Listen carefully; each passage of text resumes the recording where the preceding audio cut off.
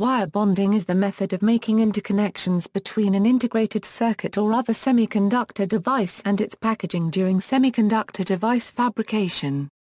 Although less common, wire bonding can be used to connect an IC to other electronics or to connect from one PCB to another. Wire bonding is generally considered the most cost-effective and flexible interconnect technology, and is used to assemble the vast majority of semiconductor packages.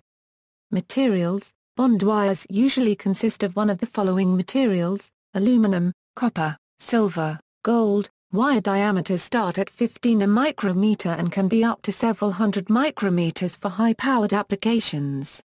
The wire bonding industry is transitioning from gold to copper. This change has been instigated by the rising cost of gold and the comparatively stable, and much lower, cost of copper. While possessing higher thermal and electrical conductivity than gold, copper has previously been seen as less reliable due to its hardness and susceptibility to corrosion. By 2015, it is expected that more than a third of all wire bonding machines in use will be set up for copper. Copper wire has become one of the preferred materials for wire bonding interconnects in many semiconductor and microelectronic applications. Copper is used for fine wire ball bonding in sizes up to 0.003 inch. Copper wire has the ability of being used at smaller diameters providing the same performance as gold without the high material cost. Copper wire up to 0.010 inch can be successfully wedge bonded with the proper setup parameters. Large diameter copper wire can and does replace aluminum wire where high current carrying capacity is needed or where there are problems with complex geometry.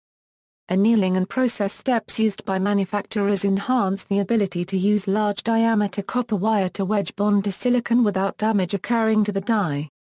Copper wire does pose some challenges in that it is harder than both gold and aluminum, so bonding parameters must be kept under tight control.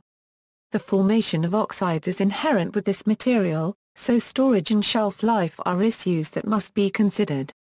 Special packaging is required in order to protect copper wire and achieve a longer shelf life. Palladium-coated copper wire is a common alternative which has shown significant resistance to corrosion, albeit at a higher hardness than pure copper and a greater price, though still less than gold. During the fabrication of wire bonds, copper wire, as well as its plated varieties, must be worked in the presence of forming gas, 95% nitrogen and 5% hydrogen or a similar anoxic gas in order to prevent corrosion. A method for coping with copper's relative hardness is the use of high-purity, 5N plus varieties. Pure gold wire doped with controlled amounts of beryllium and other elements is normally used for ball bonding. This process brings together the two materials that are to be bonded using heat, pressure and ultrasonic energy referred to as thermosonic bonding. The most common approach in thermosonic bonding is to ball bond to the chip, then stitch bond to the substrate. Very tight controls during processing enhance looping characteristics and eliminate sagging. Junction size, bond strength and conductivity requirements typically determine the most suitable wire size for a specific wire bonding application. Typical manufacturers make gold wire in diameters from 0.0005 inch and larger. Production tolerance on gold wire diameter is plus slash minus 3%. Alloyed aluminum wires are generally preferred to pure aluminum wire except in high-current devices because of greater drawing ease to fine sizes and higher pull test strengths in finished devices. Pure aluminum and 0.5% magnesium aluminum are most commonly used in sizes larger than 0.004 inch. All aluminum systems in semiconductor fabrication eliminate the purple plague sometimes associated with pure gold bonding wire. Aluminum is particularly suitable for ultrasonic bonding. In order to assure that high-quality bonds can be obtained at high production speeds, Special controls are used in the manufacture of 1% silicon aluminum wire. One of the most important characteristics of high-grade bonding wire of this type is homogeneity of the alloy system. Homogeneity is given special attention during the manufacturing process.